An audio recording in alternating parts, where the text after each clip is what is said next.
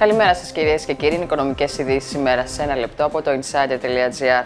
Η Ελλάδα επιστρέφει στην αγορά ομολόγων, γράφει το πρακτορείο Bloomberg, παρακολουθώντας την πορεία της χώρας μας προς την έξοδο από το πρόγραμμα και επισημαίνει μεταξύ άλλων πως καθώς η Ελλάδα πλησιάζει στην έξοδο από το οικονομικό πρόγραμμα μετά από χρόνια διασώσεων με πακέτα οικονομικής βοήθειας συνολικού ύψους 300 δισεκατομμυρίων ευρώ από το 2010, οι αποδόσεις των ελληνικών ομολόγων ολοένα και υποχωρούν. Έχουν πέσει δραματικά, παρατηρεί το Bloomberg, συγκριτικά με τα ψηλά που είχαν πιάσει στην κορύφωση της ελληνικής κρίσης το 2012, καθώς οι επενδυτές ετοιμάζονται για την επάνωδο της Ελλάδας στις αγορές. Σχόλιο με τίτλο Ανάπτυξη για την Ελλάδα δημοσιεύει σήμερα στις οικονομικές σελίδες της γερμανική εφημερίδα ΦΑΖ.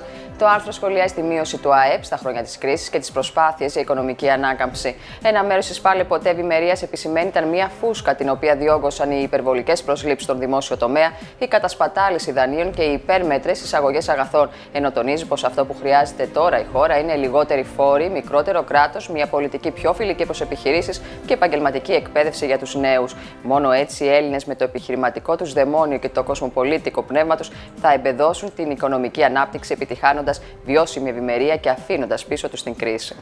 Στα 119 εκατομμύρια ευρώ ανέρχεται η αξία των συνολικών δεσμεύσεων για φορολογικές υποθέσεις, τις οποίες προχώρησε στο εξάμεινο Ιανουαρίου-Ιουνίου 2018 η Αρχή για το Ξέπλυμα Χρήματος. Λόγω του μεγάλου όγκου των υποθέσεων, η Αρχή για το Ξέπλυμα Χρήματος δίνει προτεραιότητα στις μεγάλες υποθέσεις με βεβαιωμένη φοροδιαφυγή από ΦΠΑ και φόρο εισοδήματος άνω των 500.000 ευρώ. Στη βάση όσων προβλέπει ο νόμος, η Αρχή για το Ξέπλυμα δεσμεύει τα περιουσιακά στοιχεία των οφειλετών προκειμένου να διασφαλίσει τα συμφέροντα του δημοσίου. Συνήθως οι αποφάσεις δεσμεύσεων αφορούν σε ακίνητα και ειδικά σε μεγάλες κατοικίες ή επαγγελματικές εγκαταστάσεις.